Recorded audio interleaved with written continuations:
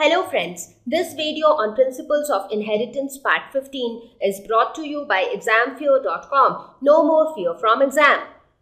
Now, the discussion on blood grouping will remain incomplete if we do not talk about multiple alleles because this is something very different which we saw in case of the ABO blood grouping.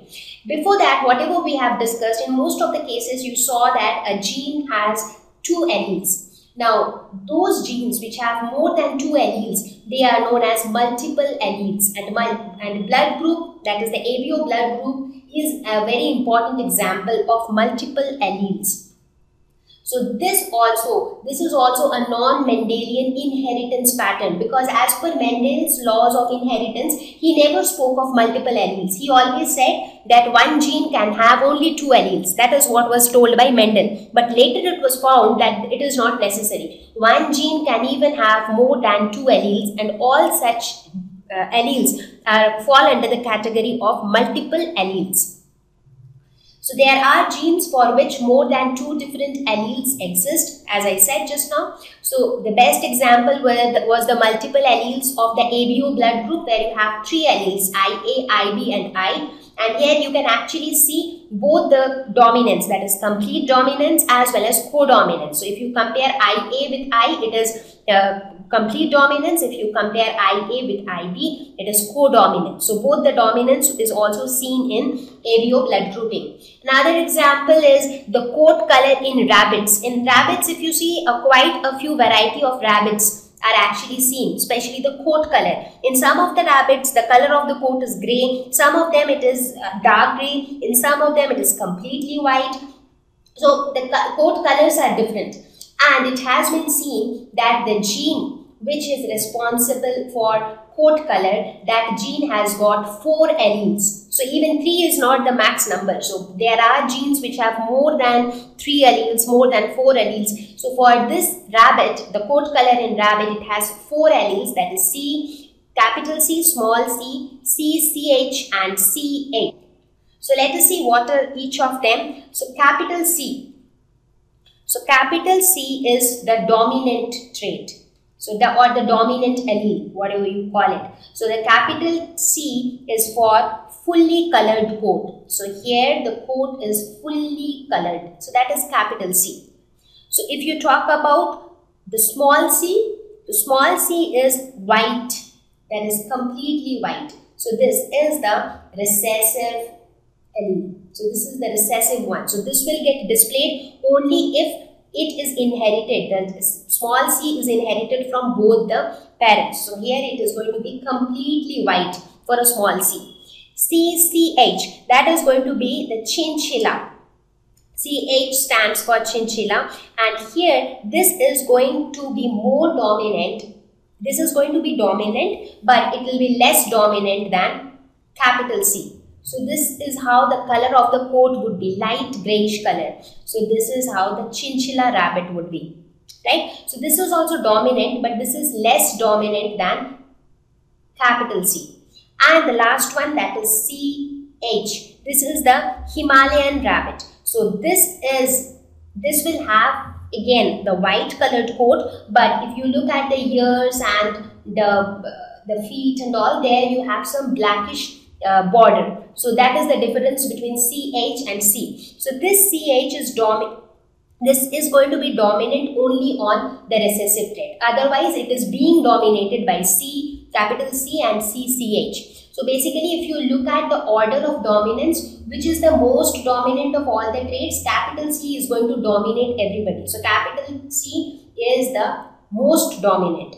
After that, the next dominant is going to be CCH, that is the chinchilla rabbit. The next one is going to be CH and finally the recessive one. So now you know, let us suppose if you have uh, a genotype, say CHCCH. So what, what would be the phenotype? So the phenotype will be CCH because CCH is more dominating than CH right? Similarly, if you have CHC, if this is the genotype, so what would be the phenotype? This is more dominating. So since this is more dominating, so this will dominate. So that is how it, it works out. So what I'm trying to say is there are quite a couple of genes where for which more than two alleles exist and this concept of multiple alleles also came after Mendel. So Mendel's law, Mendelian laws of inheritance do not, do not talk about multiple alleles. So based on whatever we have discussed so far on dominance, what do we get to know? We got to know that there are altogether three types of dominance. One is complete dominance as given by Mendel. The next is incomplete dominance where uh, the two alleles blend with each other. So they mix up to give up an intermediate phenotype. And the third one is codominance where both the alleles equally dominate each other. And as a result, a mixed phenotype is obtained. So let, let us take a common example which will explain all the three. So if you say that a red flower is being crossed with a yellow flower, if, if I talk about complete dominance, complete dominance would say that this would give red flower because red is completely dominant over yellow. So the yellow will become hidden and red will get expressed. If we talk about incomplete dominance, it will say that it will give an intermediate phenotype, neither red nor yellow. It will give something like orange, right? So that is incomplete dominance. And if I talk about codominance, it will say that both are going to dominate. So it will have red colors, it, it will also have yellow colors. So some of the petals will be red in color and some of the petals will be yellow in color. So this is all about dominance. Now Mendel was able to tell us about complete dominance. However, incomplete dominance, codominance, they came up later when other scientists performed a lot of experiments on, um, I mean, a lot of work on genetics, you can say. So this was all about the inheritance of one gene. So till now we have discussed about the uh, inheritance pattern, how traits get inherited or get, how traits get passed on from one generation to other generation with respect to one trait we did not talk about two traits. So everywhere, we, if we talk talked about the height, we only talked about tall and dwarf. If we talk about the seed color, we only talk about uh, green and yellow. If we talk about the flower color, we only talk about red and white or red and yellow. So that is what we have considered so far. But now we will make it little more complicated by talking about two traits. That is, we will see what happens when you have a plant which is tall at the same time it is with round seeds and you cross it with a plant which is dwarf and at the same time it has got wrinkled seeds. So now we are actually considering two contrasting traits. So everything all the calculations and everything will get thank you.